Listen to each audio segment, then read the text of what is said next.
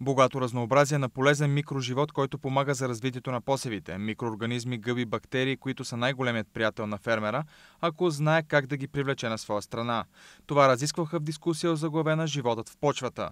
Вижте повече колкото по-голяма е плътността на микроорганизмите в почвата, било то а, бактерии, гъби, а, дори някакви насекоми. Съответно, това означава, че почвата е много по-плодородна. За съжаление, през последните години, дори през последните десетилетия, се използват много тежки химични вещества, които води до намаляването на плътността на именно тези полезни микроорганизми в почвата. Затова нашата цел е и всъщност да се използват такива бактерии и такива гъби, гъби, които да ни помагат в борбата с различни болести, които нападат земеделските култури, които отглеждаме.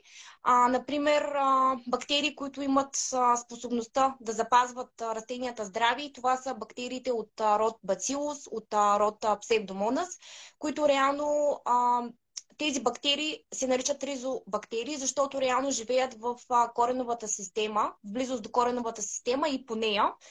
А, и съответно по този начин а, самите бактерии започват а, да отделят токсини и по този начин защитават растенията. Т.е. издигат една бариера между а, патогена, който се намира в почвата, било то фузариум или бутритис, и по този начин защитава самите растения. А, когато а, говорим за болести, освен тези бактерии от род Bacillus и Pseudomonas, а, можем да споменем също и а, микорезните гъби, които също са много важни елементи от а, почвата, защото те всъщност а, отново могат да живеят в симбиоза с кореновата система на, на, на растенията, като по този начин микоризните гъби могат да доставят хранителни вещества и вода на растението. От своя страна пък растението дава на тези микоризни гъби витамини и а, хормони, които са нужни пък за развитието на тези гъби. А, доколкото, а, смисъл такъв, а, кога стане въпрос вече тук за торенето, а, тъй като през последните месеци виждаме вече колко много се е покачила цената на стандартните торове, а до, до голяма степен а, и торовете, които се внасят с а, много килограми на декар, до голяма степен а, не могат да бъдат освоени напълно от а, самите растения. А, било то защото растенията нямат нужда от толкова голямо количество торове или пък а, защото а, самите елементи остават в някаква трудно освоима форма от растенията. Затова а, смятам, че могат да се използват а, нови иновативни методи, като, а, например, бактерии, ко- които са от род азотобактер а, или пък азоспириум бразиленсис. А, това са всички такива а, азотфиксиращи бактерии, които могат да а, уловят атмосферният азот и азота в почвата и да го транспортират към растението. А, по този начин а, започва да се синтезират и все повече и повече фитохормони, като аусини, гиберлини, цитокинини, които са изключително важни за растенията. А, също така, друг вид бактерия, която може да а, снабди растението с а, нужни хранителни вещества, това е пантоя дисперса, която а, снабдява растението с а, фосфор. Тоест, минерализира а, трудно освоимите фосфати от почвата и ги прави освоими за растението. И вече тогава, когато а, в, а, по време на вегетацията сме внесли микоризни гъби, внесли сме а, бактерии, които а, транспортират хранителни вещества към а, растението, вече в края на вегетацията съответно остават голям брой растителни остатъци, които отново могат да бъдат разградени а, да се превърнат в хумус, по този начин да се, а, да се обогати почвата и съответно да бъде много по-подготвена за следващата вегетация, за следващите земеделски култури, които отглеждаме.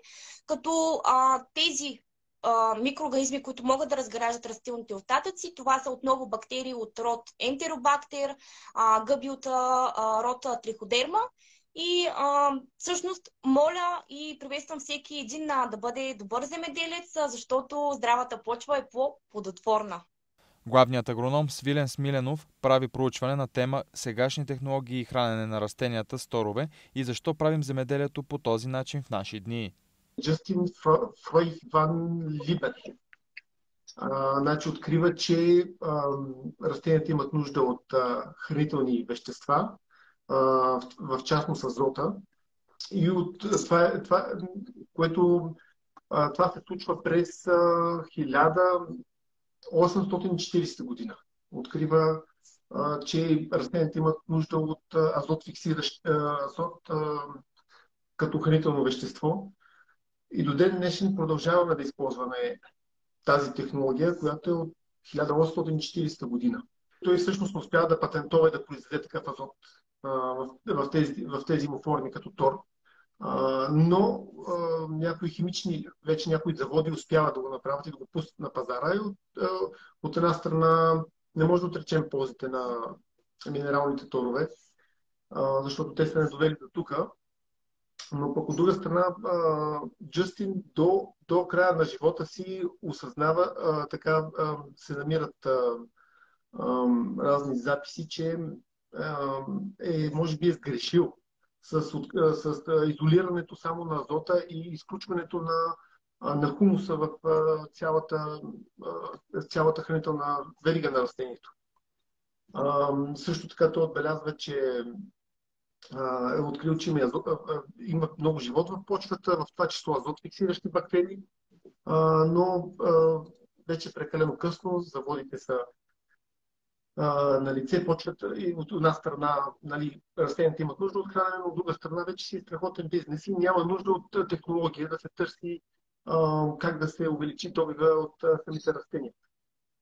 Също една от темите Знаеме предимствата на, на минералните торове, но а, така с зелената сделка, с а, климатичните промени, изискването е да бъдат а, да намерим вече нещо по-добро, нещо, което а, няма тези негативи на тази технология, на минералните торове.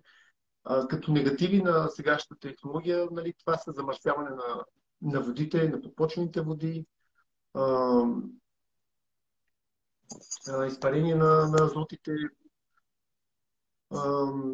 и нали, вече се отбелязва, че има, има доказателства, че влияят на, на климата и нали, заради това са до 2300 година има изискване да бъдат редуцирани поне с 20% всички тези минерални торове. Но все пак, ако се върнем към технологията и се огледаме в, да копираме природата, как, как тя съществува, как а, горите съществуват, как а, всички останали растителности, а, нали, пак стигаме до, до микроорганизмите.